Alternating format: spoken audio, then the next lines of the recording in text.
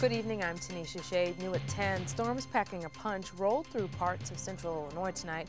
The severe weather hovered mostly over Douglas, Edgar, and Coles County. We've got some pictures sent in courtesy of Jim Butler in Ashmore, that's in Coles County. You can see the hail this storm left behind, and it also took down a 40-foot pine tree.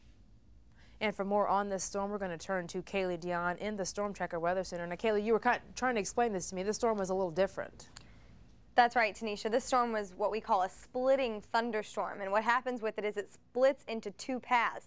There's a right mover and a left mover. And the right mover is usually slower, so it has more of a chance to get to supercell status, which is what happened with these storms that moved through Edgar, Coles, and also Douglas County. Now let's bring up Storm Tracker 5X, where I've I'm going to show you the path of this as we move it through here. You can see here's where it's just one complete cell. Now, as you move forward, it's split into two cells, and here's the left mover, and then there's the right mover. Now, the right mover is what produced that hail that is was in Ashmore as well, and then it continued to move on. And the right mover usually stays the stronger one in most cases with this system, and it dropped lots of hail, and it was a pretty interesting storm as it moved through. But we should be in the clear for the rest of the night, and I'll have all those details and more coming up later on. Tanisha? All right, thank you so much, Kalee. Also new at 10,